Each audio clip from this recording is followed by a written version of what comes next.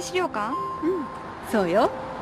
日本でねサレジオ会の活動を中心になって進めてこられたチマッティ神父様の写真とか資料がたくさん展示されてるところなの。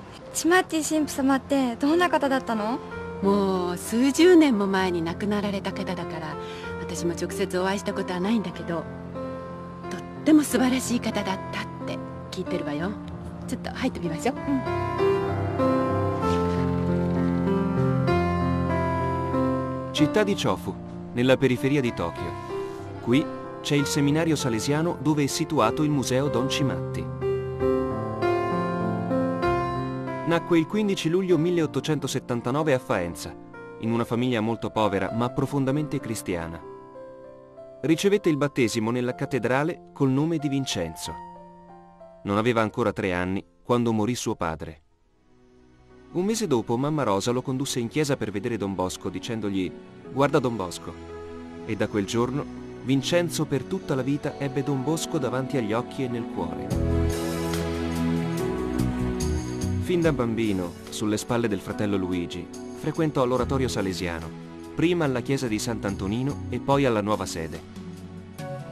Al terzo anno di elementari entrò nella scuola salesiana di Faenza. Come tutti i ragazzi amava il gioco, ma anche i voti erano ottimi. Mostrò subito un particolare talento per la musica e scoprirono in lui una bella voce da soprano. La gente diceva, quel ragazzo quando canta prega. Nella scuola media formò un'orchestrina di ocarine che lui stesso dirigeva. Finite le medie, passò al noviziato di Foglizzo, dove a 17 anni fece i voti perpetui diventando salesiano per sempre.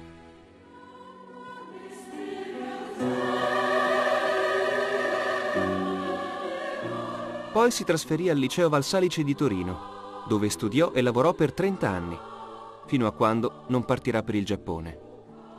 È in questo periodo che ottiene i dottorati in agraria e filosofia pedagogia. Nel 1900 ottiene anche il diploma di maestro di coro al Conservatorio di Parma.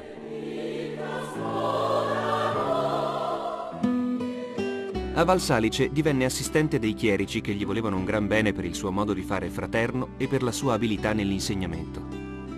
Nel 1905 viene ordinato sacerdote. Pur continuando ad insegnare a Valsalice, nel 1912 si trasferisce alla chiesa di San Giovanni Evangelista come incaricato degli oratori San Luigi e San Giuseppe. Fondò il primo gruppo Boy Scout di Torino e fino alla fine della Prima Guerra Mondiale si prodigò per alleviare le sofferenze della gente.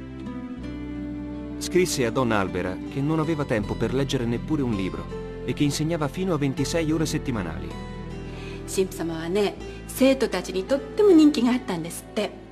他の先生たちと違ってこうしなさいっておっしゃらずにこうしてくれますかって優しくお願いするようにおっしゃるから僕たちも嫌とは言えなくなってしまうんだって。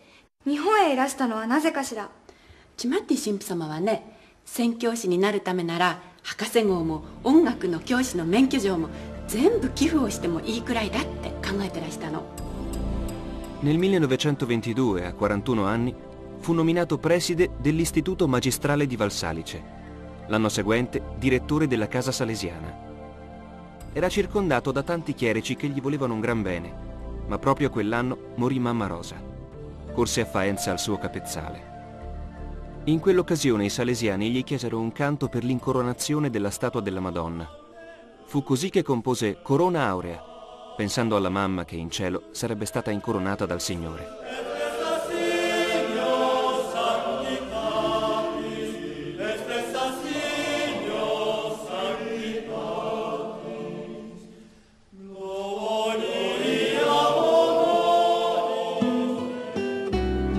Il fratello Luigi era già missionario in Perù. La sorella Santina, col nome di Suor Raffaella, ora beata, era già tra le suore ospedaliere della Misericordia a Frosinone. Morta la mamma, Don Cimatti insistette per essere missionario e nel 1925, cinquantesimo anniversario delle missioni salesiane, a 46 anni, annunciò ai suoi amici che era stato destinato alla nuova missione del Giappone. Nella cerimonia d'addio, celebrata nella chiesa di Maria Ausiliatrice dal beato Don Filippo Rinaldi, ricevette la croce di missionario.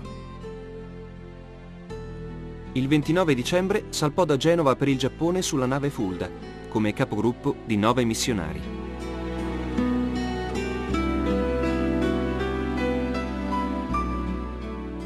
Diretti a un paese nuovo e sconosciuto, nel loro cuore si mescolavano speranze ed ansie. Sulla nave incontrarono un giapponese, il professor Uehara Senroku. Questi, divenuto poi il primo rettore dell'Università di Stotsubashi a Tokyo, diventò loro amico e si offrì a insegnar loro un po' di giapponese.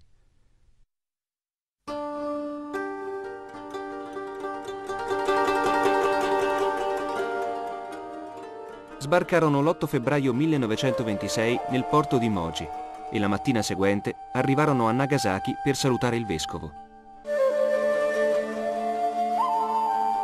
Il 17 febbraio arrivarono a destinazione nella città di Miyazaki, al sud del Giappone, sull'Oceano Pacifico.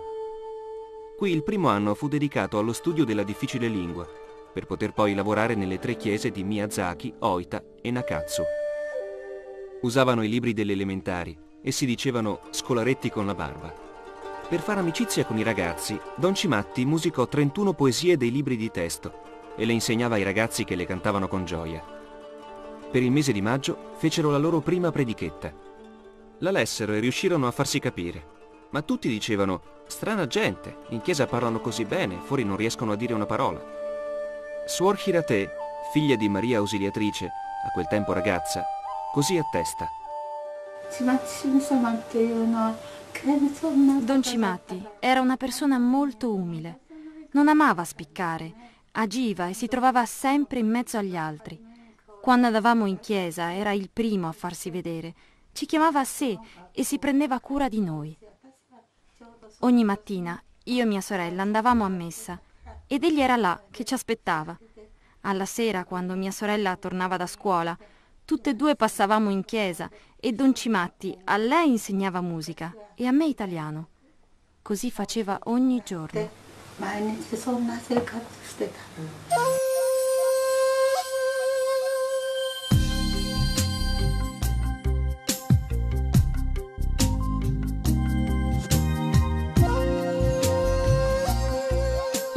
Don Cimatti usò la musica per approfondire i rapporti con i giapponesi Nell'autunno del primo anno, per il settecentesimo anniversario della morte di San Francesco d'Assisi, tenne a Kagoshima cinque concerti. Fu un vero successo. I concerti si susseguirono anche nelle migliori sale del Giappone. Superò l'ostacolo della lingua con esecuzioni allegre e si conquistò il cuore dei giapponesi. Per divertire i bambini, suonava gesticolando e cantando insieme.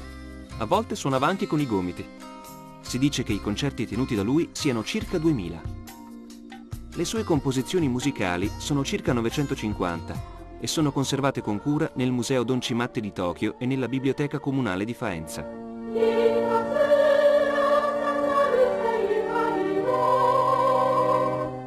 Il suo interesse per la natura continuò anche in Giappone, dove raccolse esemplari di piante, alghe e conchiglie. Offrì all'imperatore copia di due cataloghi di piante e animali della zona di Miyazaki e ne ricevette in cambio 10 splendidi esemplari di alghe di cui l'imperatore era specialista. Questi si trovano ora nel Museo di Storia Naturale di Valsalice. 自然科学の研究も続けてたなんてすごいなだから自然を通して神の愛と知恵を知ることができるって考えてらしたんだと思うの自然を通して神の愛と知恵を知る 雨の日にある神父様が「今日はお天気が悪いですね」って声をかけたらチマッティ神父様は「神様が作られたものが悪いはずはないでしょ」って優しく語られたっていうの。それにしてもさチマッティ神父様っていっつも同じ格好してない？チマッティ神父様はね生涯質素な生活を貫かれた方なのよ。そしてねいつも率先して働かれて自分のことよりも人のことをまず先に考える Nutriva una grande ritrosia per le cariche. Scrivendo ai superiori in Italia insisteva sempre Io non sono adatto a comandare, lasciatemi lavorare come un suddito. Nel 1929 tornò in Italia per il capitolo generale e per la beatificazione di Don Bosco. Tenne molte conferenze e reclutò nuovi missionari. Tornò in Giappone con il primo gruppo di chierici e con le prime suore di Maria Ausiliatrice.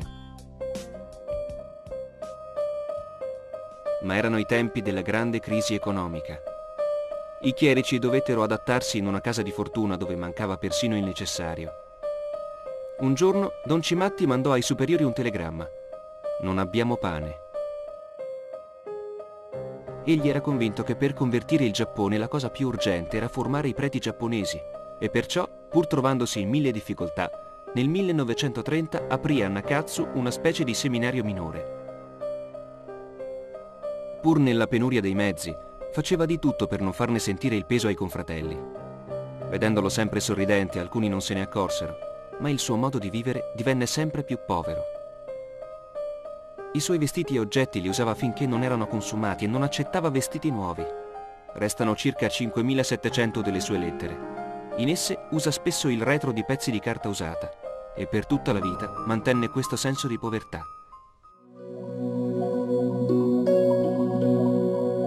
Nel 1933 fu costruito a Miyazaki il tanto desiderato seminario minore e vi fu trasferito anche lo studentato filosofico. Pur impegnato in così tante cose, cercava tutte le occasioni per mostrare il suo affetto agli aspiranti e diceva loro «Voi siete i miei figli e la mia speranza, crescete in fretta». Nel 1934 a Tokyo si inaugurò la scuola professionale con le sezioni stamperia, falegnameria, sartoria, più l'editrice Don Bosco. L'anno seguente la missione divenne prefettura apostolica egli ne fu nominato prefetto apostolico. I suoi antichi allievi gli mandarono dall'Italia la mitra e le insegne vescovili. Le spedì subito indietro con queste parole. I miei poveri hanno bisogno di pane. Vendete queste cose e mandatemene i soldi. Non soffriva questi ornamenti e non amava il titolo di Monsignore. Si preoccupava anche degli orfani e degli anziani e per questo aprì a Miyazaki una casa di assistenza dove cominciò ad accogliere persone disagiate. Era l'inizio della grande opera, della quale incaricò Don Antonio Cavoli. Da qui nacque nel 1937 la fiorente congregazione femminile delle suore della Caritas di Miyazaki. Intanto non cessava la sua attività musicale. Nel 1934 tenne concerti perfino in Manciuria, nella Corea del Nord e nella Corea del Sud. Nel 1940 ricorreva, secondo la leggenda, il 2600 anniversario della fondazione dell'impero. Per partecipare alla gioia nazionale, Don Cimatti compose una sonata per piano che fu trasmessa in diretta dalla Radio Nazionale a tutto il Giappone a mezzogiorno del 3 gennaio, giorno sacro per i giapponesi. Ma il più grande successo l'ebbe con l'opera lirica Osokawa Grazia, che fu rappresentata nelle migliori sale di Tokyo e di Osaka.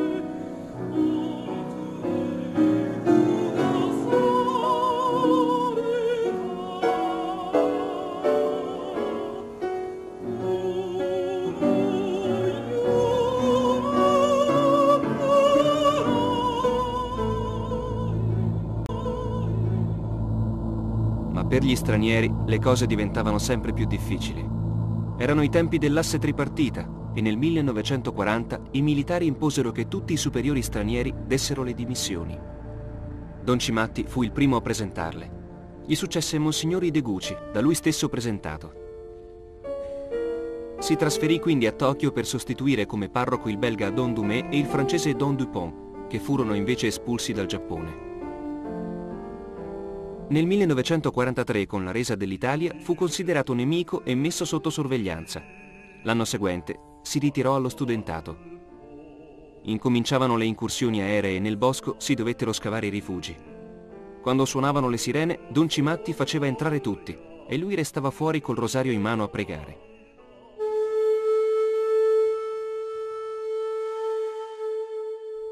Quasi tutti i chierici giapponesi erano stati chiamati alle armi e cominciavano ad arrivare le notizie della loro morte. Una ventina di ex allievi del piccolo seminario di Miyazaki persero la vita. Don Cimatti scrisse la biografia di quattro giovani salesiani. Nella primavera del 1945 i bombardamenti su Tokyo costrinsero i chierici a sfollare al lago di Nojiri.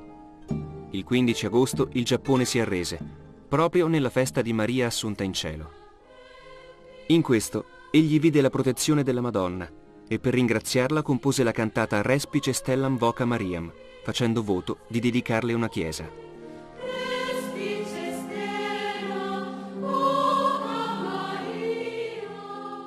Don Cimatti decise subito di aprire un orfanotrofio a Tokyo e un altro a Nakatsu, nell'isola del Kyushu.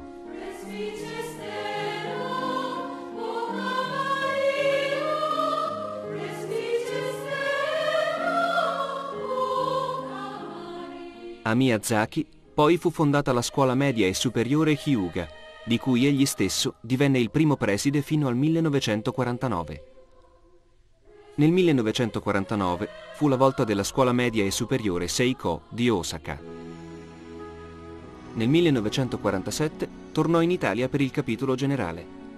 Poté rivedere gli amici, ma quanti erano scomparsi. Al Colle Don Bosco compose e fece cantare La casetta di Don Bosco. Tenne in tutta Italia 250 conferenze e concerti, suscitando ovunque grande interesse.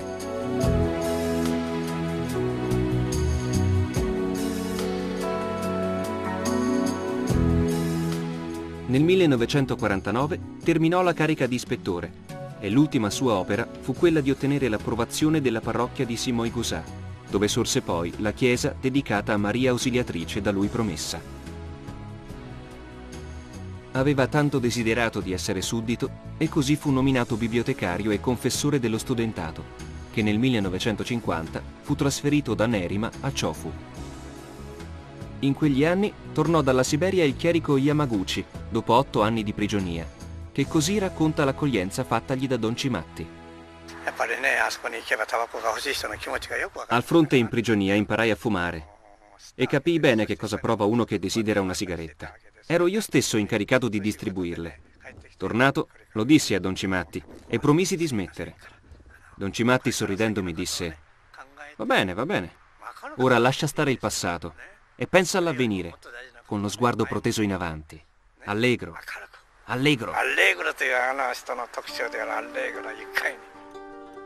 nel 1952 fu eletto all'unanimità delegato ispettoriale al capitolo generale. Giunto in Italia, sentì che lo si voleva eleggere catechista generale. Non avrebbe più potuto tornare in Giappone.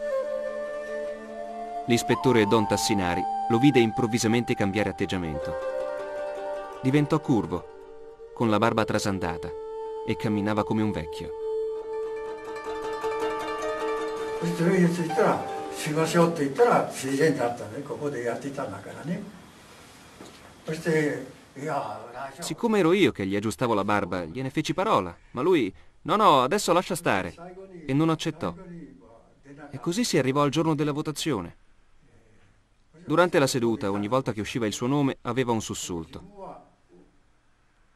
Per fortuna, per pochi voti non fu eletto, e anch'io ne fui contento. Uscito fuori all'improvviso mi disse, mettimi a posto la barba. E cambiato atteggiamento, cominciò a camminare dritto e arzillo come prima. Quelli che lo avevano visto capirono il gioco e ne furono ammirati.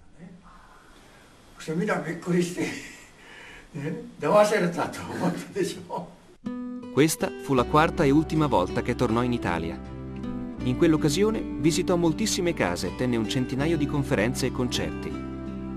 Ritornato in Giappone, l'attendeva una nuova carica a 73 anni fu nominato direttore del seminario e noviziato di Chofu. Era attento a tutto e a tutti.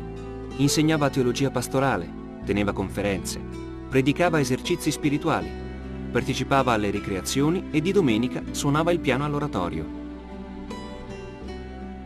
Nel 1954 suonò per l'inaugurazione della chiesa di Megurò e all'accademia che ne seguì, tra mille applausi, cantò con Don Margiaria uno dei suoi pezzi forti, Attila di Verdi, che fu registrato.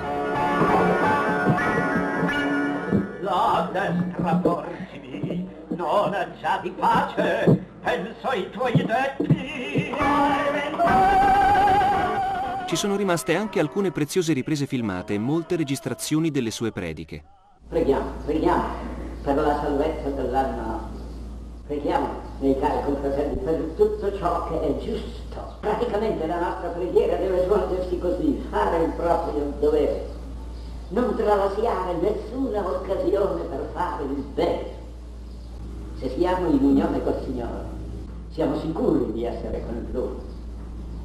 E non mi sembra che nei momenti singoli della giornata, quando ce n'è di bisogno, il Signore ci suggerisse precisamente quello che noi dobbiamo fare. Le sante cosiddette, le sante ispirazioni hanno questo scopo. Ma noi non stiamo Durante le vacanze estive passava qualche giorno al lago di Nogiri. Fu ripreso mentre lavorava con i chierici per costruire la via Cimazia. Nel 1955, per il cinquantesimo della sua ordinazione sacerdotale, venne dall'Italia il rettor maggiore Don Renato Zigiotti, suo antico allievo, il quale disse «Posso tornare in patria tranquillo, perché lascio in Giappone un salesiano che ha il vero spirito di Don Bosco». Dopo aver superato tante difficoltà, circondato dai tanti allievi, comincia per Don Cimatti un periodo in cui più splendeva la sua paternità. Nel 1959 fu celebrata la messa per i suoi 80 anni. Pater noster, pies in celis, sanctificetur nomen tuum. Adveniat Regnum. Benedictio Dei omnipotentis, Patris et Filii et Spiritus Sancti descendat super vos et maniat semper. Amen. Nel 1962, a 83 anni, lasciò la carica di direttore. Si spinse fino a Nogiri e poi a Miyazaki per accomiatarsi dalle persone a lui care. Nel maggio 1963, durante la processione di Maria Ausiliatrice, si sentì male e fu costretto a mettersi a letto. Don Maruoka, allora chierico, che lo assisteva durante la malattia, così testimonia. Quando si diffuse la voce che Don Cimatti era in pericolo, molti vennero a trovarlo. Egli non parlava mai di sé. Chiedeva loro notizie della salute, della famiglia, del lavoro. Dava loro la benedizione e li incoraggiava. Se qualcuno gli chiedeva come stava, rispondeva «Ma io sto bene». Però quando non c'era nessuno si sentiva gemere, anche a voce abbastanza alta. Subito smetteva se veniva qualcuno. Io lo sentii per caso quando facevo le pulizie. Ci teneva tanto a non dare preoccupazioni agli altri. Da ammalato, sempre col rosario in mano, diceva «Adesso il mio lavoro è pregare» e ricordava uno per uno. Il governo giapponese, a nome dell'imperatore, gli conferì la massima onorificenza possibile a un privato. L'ultima sua composizione musicale fu la messa e il canto per il cinquantesimo di ordinazione del suo compagno di missione, Don Antonio Cavoli. Lui stesso domandò l'unzione degli infermi, che ricevette con la massima devozione. Poi, giorno per giorno, andò spegnendosi. Morì il 6 ottobre 1965, a 86 anni, circondato dai salesiani e dalle figlie di Maria Ausiliatrice, subito accorse al suo capezzale.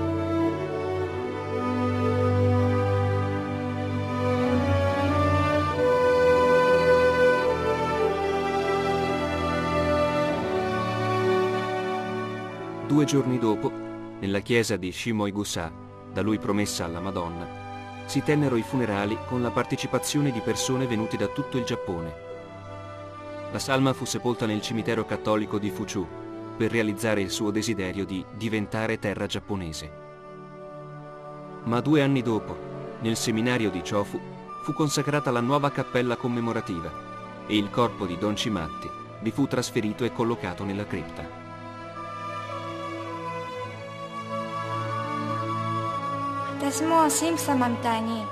他の人のために尽くしてあげられるような人になりたいな。そうね。とっても難しいことだけどでもねそうなろうと努力することは大切なことだと思うわよ。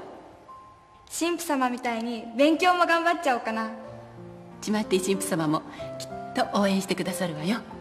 お母さんも神父様みたいに優しい人になれるように頑張らないとね。え？どういう？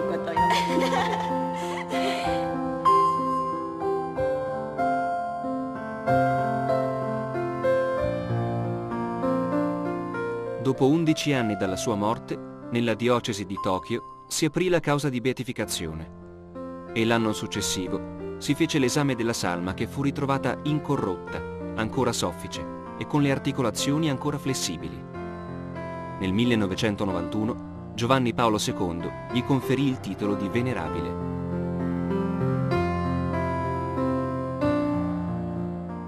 Don Cimatti, ricco di talento, pieno di umanità, fu amato da tutti. Non si risparmiò nelle fatiche e nel lavoro. Non si piegò nelle avversità. Ebbe cuore puro, visse povero e riversò il suo affetto sui giovani e su tutti quelli che da Dio gli furono affidati. Amò la musica, la natura, il Giappone. Ora il suo cuore continua a vivere nei suoi figli spirituali, nei suoi mirabili insegnamenti, nei suoi esempi e risuona negli innumerevoli canti che ci ha lasciato.